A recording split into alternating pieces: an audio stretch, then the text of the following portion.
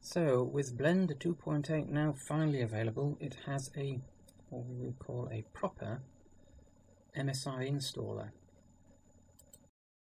So visit blender.org, click on the blue button on the home page. The download will start automatically. Or if you need a different version, click on the download link at the top of the page and select your MSI or zip option and then just install.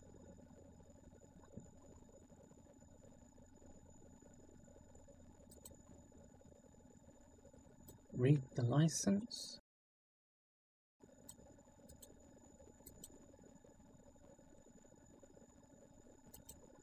Set or select the install directory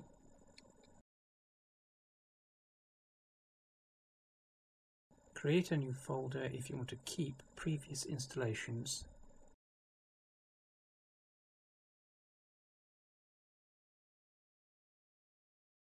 Double check the components to be included and install. Do be aware that if Blender does find a previous instance installed, it will remove it before continuing. Click Finish to complete the installation, then open Blender. If Blender is being used for the first time, set the left or right mouse button as your default. Click Next, and then Blender will be available for normal use.